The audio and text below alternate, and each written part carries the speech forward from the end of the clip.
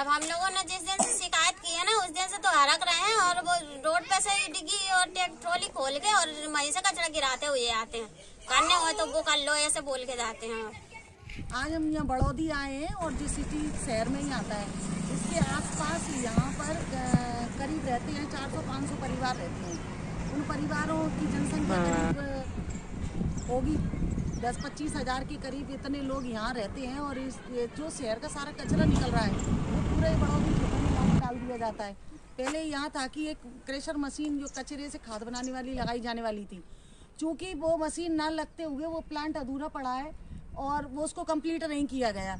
उसका खामियाजा यहाँ के अड़ोस पड़ोस के लोगों को भुगतना पड़ रहा है, क्योंकि नगर पालिका के लोग कचरा तो यहाँ डाल जाते हैं, फिर आकर नहीं देखते हैं कि यहाँ किस, क्या स्थिति हो रही है। जो इसमें से जो धुआँ निकल रहा है ना, उसकी वजह से भी यहाँ कई तरह की बीमारियाँ हो रही हैं।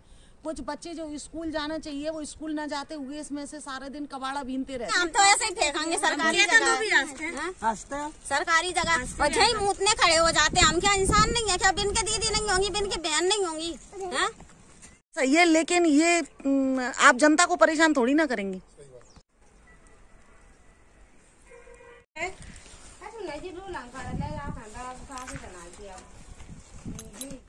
यहाँ पर जो कर्मचारी रहता है वो रात के समय में इसमें बच्चों को एक साथ उतरवा के कबाड़ा बिनवाता है और खुद भी कबाड़े को खरीदता है।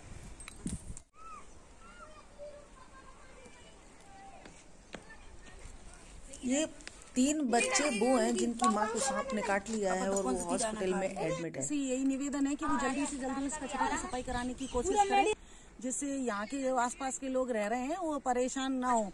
और जो मशीन यहाँ की जो क्रेशर मशीन चालू कराने की उनकी वो जो योजना है उसे भी जल्दी से लागू करें जिससे जो छोटे छोटे बच्चे अपना बचपन इस कचरे में खो रहे हैं वो उससे बच सकें।